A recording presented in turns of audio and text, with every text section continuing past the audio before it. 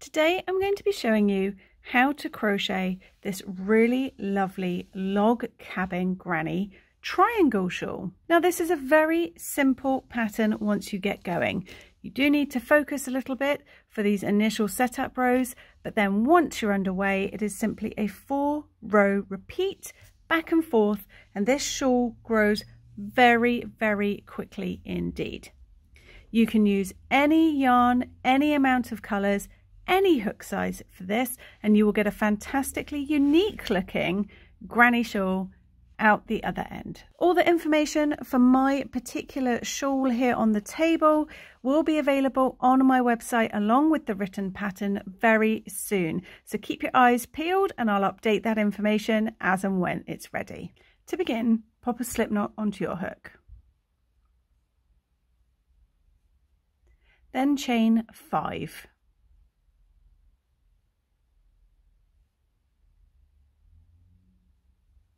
Join with a slip stitch to that very first chain you made to form a ring.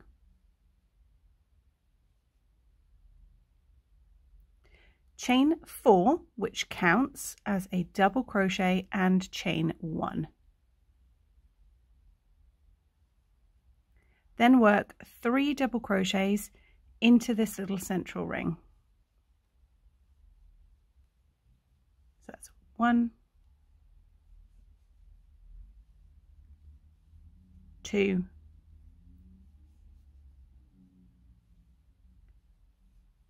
and three.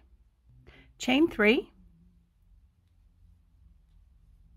and turn. These first eight rounds, these setup rounds, work up nice and quickly. Now into this chain four space at the end, we're going to work three double crochet, just right into this space, So one, two, three, then chain one and place one more double crochet into that chain four space from the row below.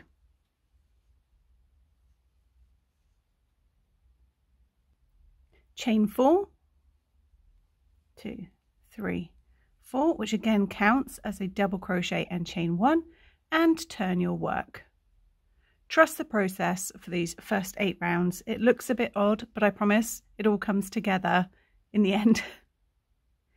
Into this chain one space from the row below, we're going to work three double crochet stitches. So this very first space you have here, three double crochets into that space. So one, two, and three. Then into the next chain space, your chain three space from the row below, we're going to work three double crochets in there as well. So just work straight into that space, three double crochet. So one, two, and 3. For row 4, we're going to change colour at the end of this row.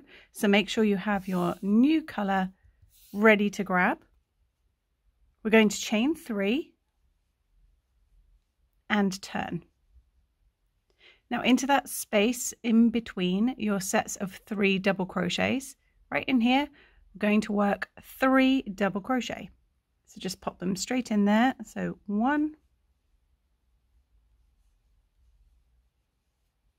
two, three, and then into this end space here, this chain four space, we're going to work three double crochet. So just straight in there, three double crochet. So again, that's one,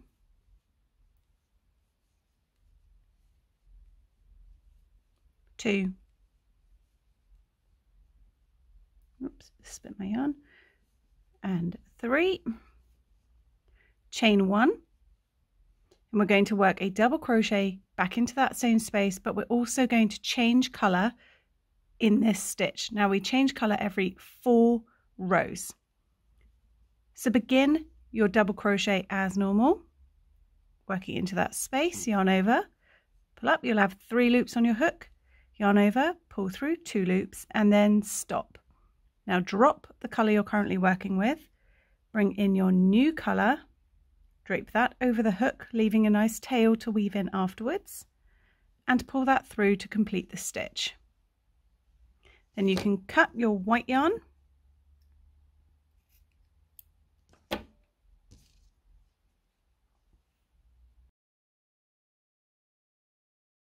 And we're going to work the next four rows using this separate coloured yarn. Chain four and turn. So you'll see we're, we're building a sort of wonky triangle here. This bottom edge where we do the chain fours, that is the bottom outside edge of your shawl. Working into this space in between your last two stitches, work three double crochet stitches. Just pop them right in there. So one, two, three, and in between your sets of three double crochet, work three double crochet. So right into this gap here, we're going to work three more double crochet stitches.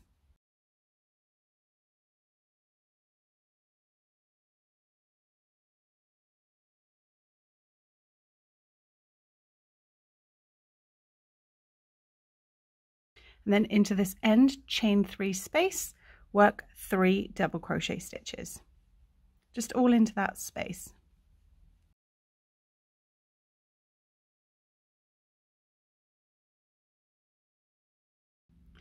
For row six, chain three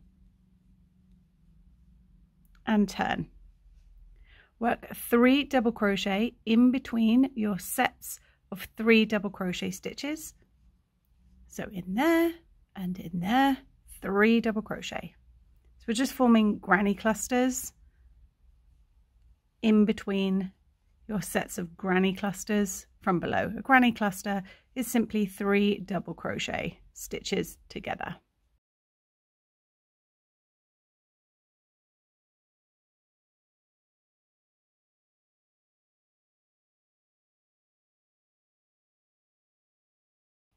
Once you reach this end chain four space, in there we're going to work three double crochet just right into the space in between your chain four and your stitches from the row below.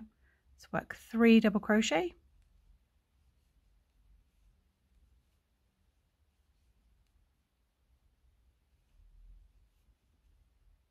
chain one and work one more double crochet into that end chain four space. So as we work along this bottom edge, we'll always start with a chain four, which counts as a double crochet and a chain one, and we'll always end with a chain one and a double crochet. On this side, this is the inside of your shawl where you have your chain three spaces. They're just chain threes and will always be chain threes. But along this outside edge, this is the bottom of your shawl.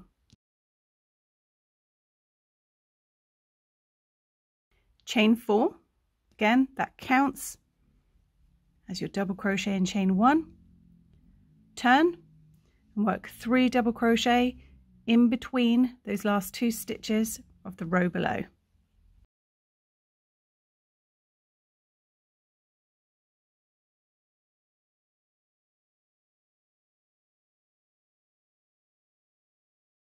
Then we're going to work three double crochet in between your sets of three double crochet from the row below.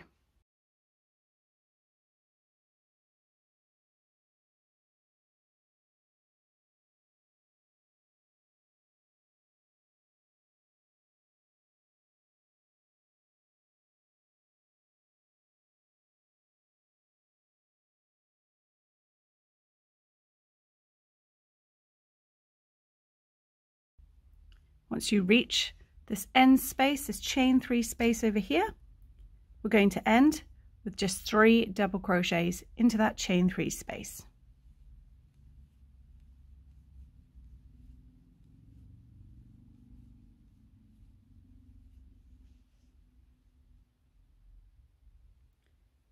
chain three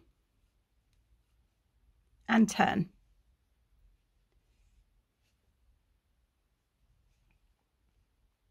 Again, work three double crochets in between your sets of three double crochet from the row below. So we're just working in sets of three double crochet each time.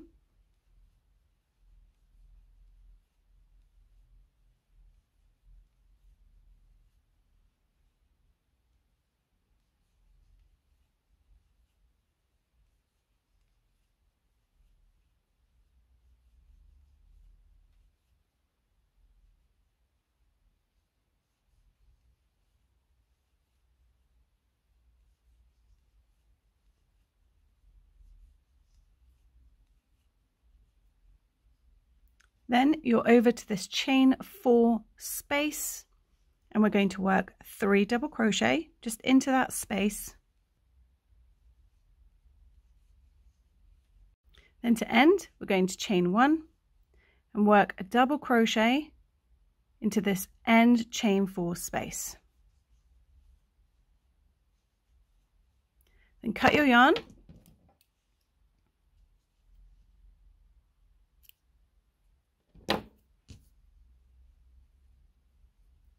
chain one, pull that through, pull it tight. And those are your first eight setup rows complete. Now you're going to turn your work, flip it over, so that the last row that you did is on your right hand side and your chain ring is on your left hand side. Now those first eight setup rows are out of the way, we're going to begin the four row repeat. Now we're going to start in a slightly different place and that is purely so that from this point on all your color changes will be in the middle of your shawl rather than on the outside edge like these first ones. So we just have to start this one slightly differently before we begin the four row repeat. So we're going to join our new colour yarn into this chain three space from row eight. So this is where you finished off this colour. We're going to go into the chain three space and we're going to join our new yarn. Now for my personal shawl, I then joined with black, but obviously that is not a great colour to be able to see on film. So I'm going to use a light grey. And this light grey is slightly thicker than the other two colours, but that's fine. This is just a small sample piece. So attach your yarn however you like to attach your yarn. I personally like to join with a slip knot.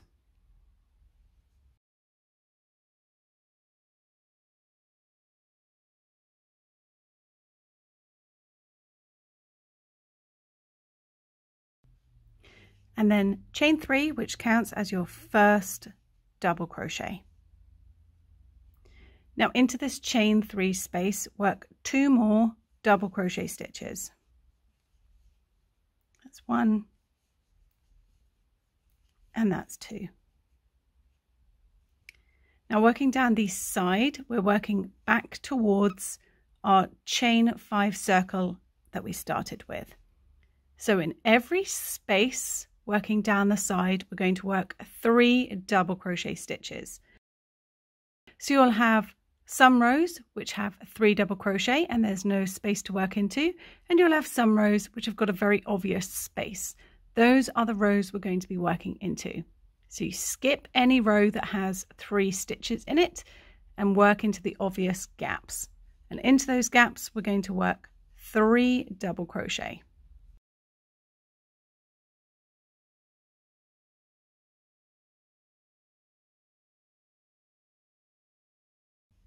And again, there's an obvious gap here on the white and we're just going to work straight in there with three double crochet.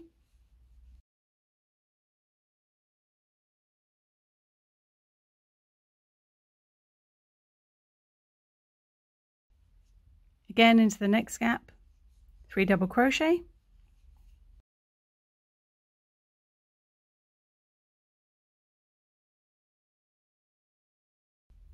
Then we will be at your chain five ring where we very, very first started. And into that chain five ring, we're going to work three double crochet,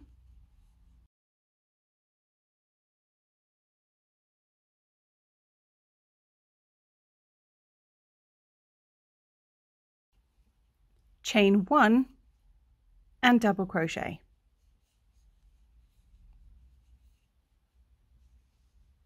So now we're going to make this more triangular. And as we are along the outside edge of the shawl, the sort of bottom straight edge, to start row 10, chain 4, which of course counts as a double crochet and a chain 1. Turn your work. Remove any of your own personal hair that you have crocheted in. and work three double crochet into that very first space in between the last two stitches of the row into the chain one space work three double crochet.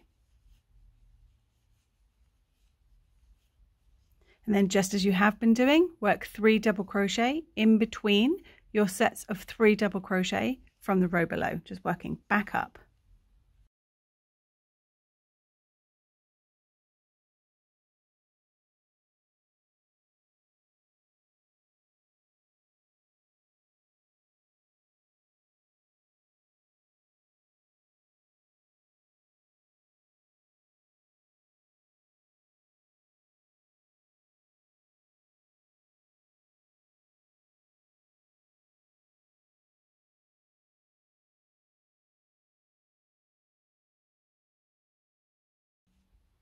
Now to end this row, you're going to work a double crochet into the top of the very first stitch you made. Now for me, that's my chain three, or if you did a standing double crochet stitch into the top of that very first stitch that you made, one double crochet.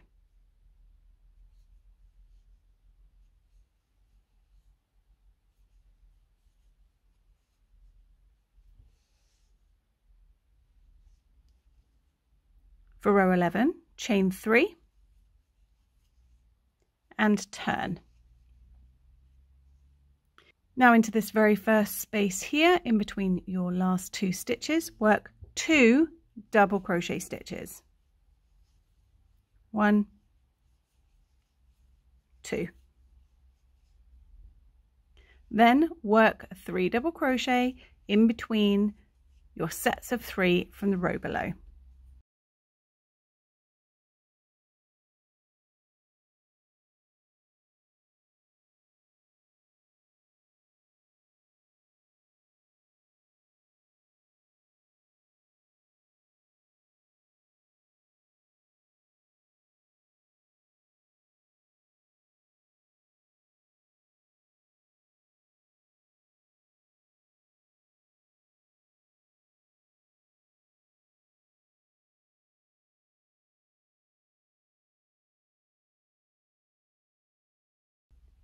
Once you reach this chain four outer edge, into that chain four space, you're going to work three double crochet,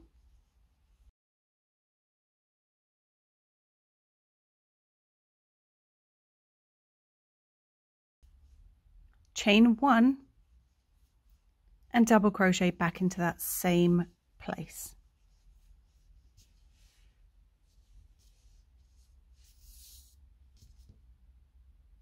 For row 12 chain 4 turn and work 3 double crochet into that very first chain 1 space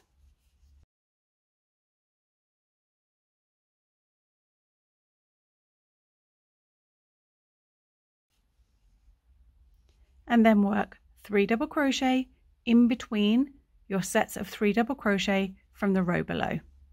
Keep going until you have run out of spaces in between the groups of three.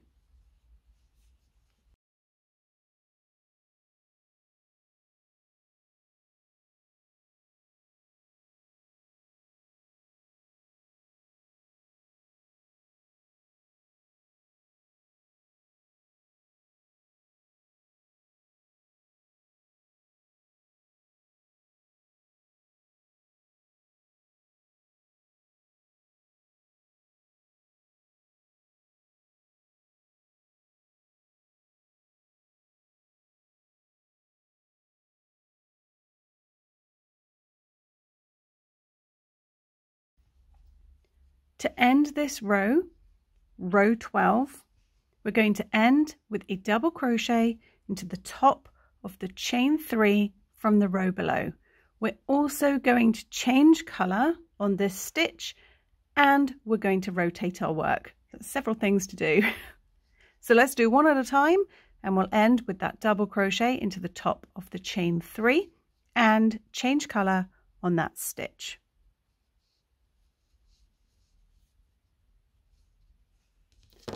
So I'm going to go back to white. I'm going to draw that over, and pull that through to complete the stitch. I can then cut the grey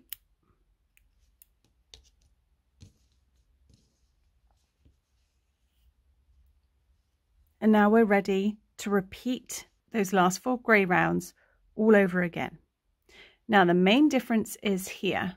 We're going to start doing the log cabin rotation. So at the moment, we're working in this direction. We now want to come back down on this side. So we're going to be going up, down, up, down, back and forth.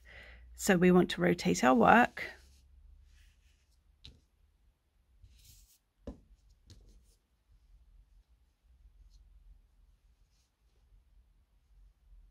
chain three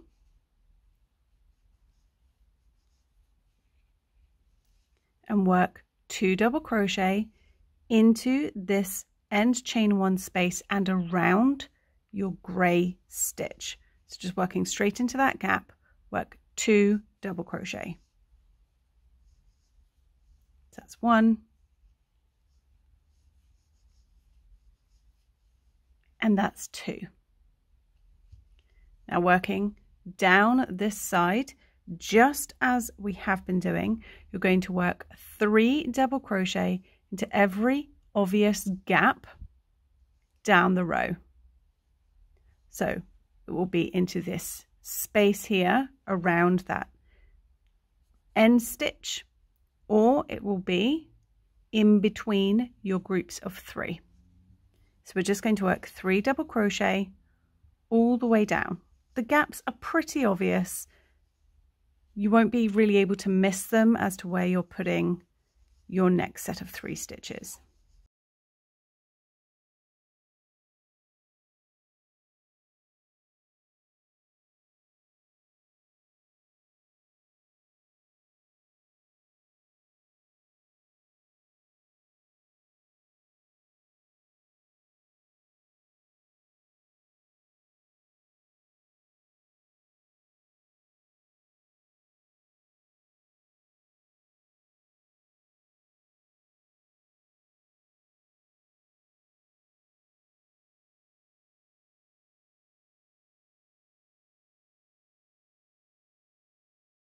Once you reach this end chain one space, in here we're going to work a three double crochet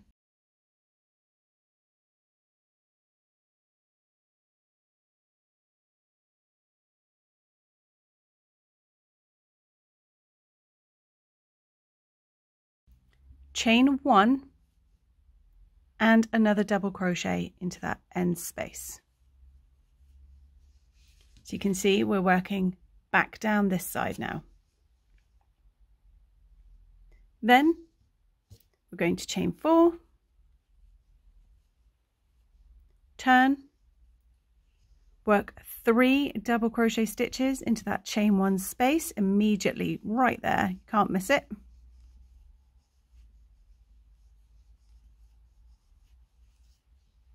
and work three double crochet in between your sets of three double crochet all the way back up the line. So we're repeating row 10 again.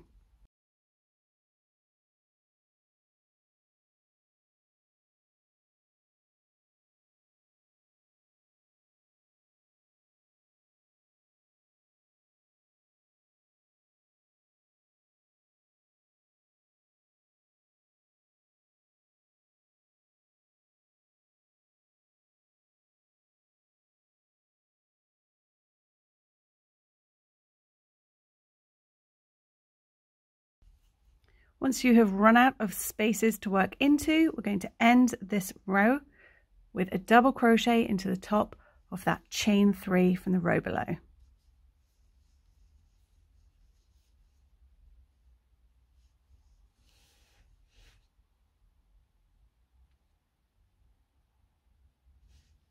chain three and turn work two double crochet into this end space right here right below where you're working. So just two double crochet in there. And then as before three double crochet into every space in between your sets of three all the way back up again. We're just repeating row 11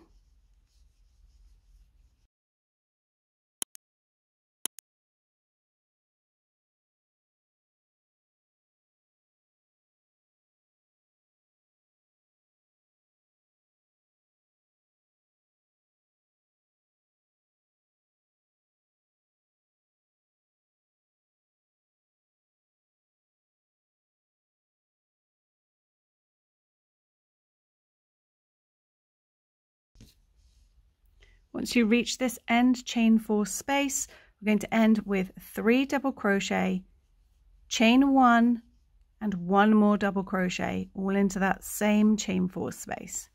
That's my three double crochet, chain one, one double crochet. So you can see it's starting to take shape now. It's looking more triangular. And for that final repeat row, chain four, turn, work three double crochet into that chain one space,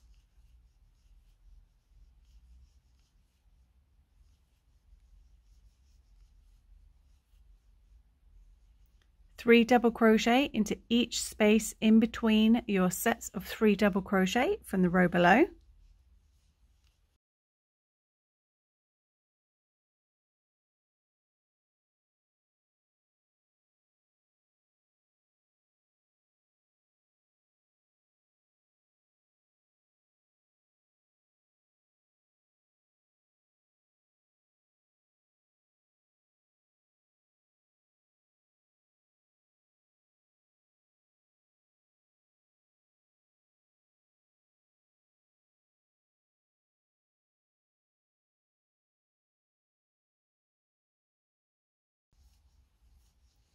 And then to end this fourth row of the pattern repeat, we're going to end with a double crochet into the top of the chain three from the row below and change color.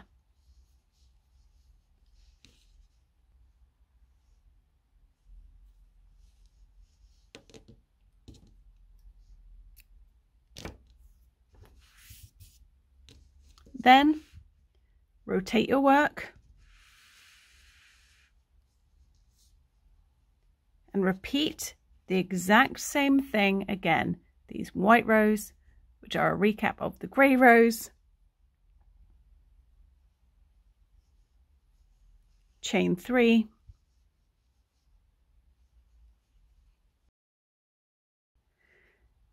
two double crochet into this end space and working around that last stitch you just made.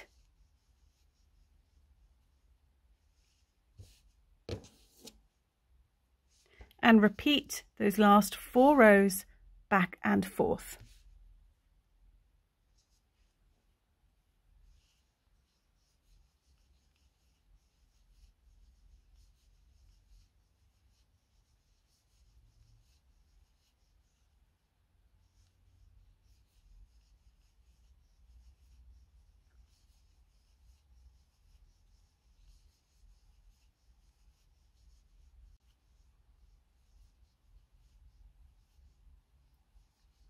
Now once your shawl is the size that you want it to be, you've been repeating these last four rows back and forth, back and forth. Your shawl is the final size that you want it to be. To end your very last stitch, you won't be changing colour. You're simply going to finish that double crochet as normal. Chain one, cut your yarn, leaving a long length to weave in pull that out and pull it tight and then you will just have your ends to weave in, but your shawl will be complete. So I hope you enjoyed this tutorial. I hope you go on to make these gorgeous log cabin granny shawls for yourself.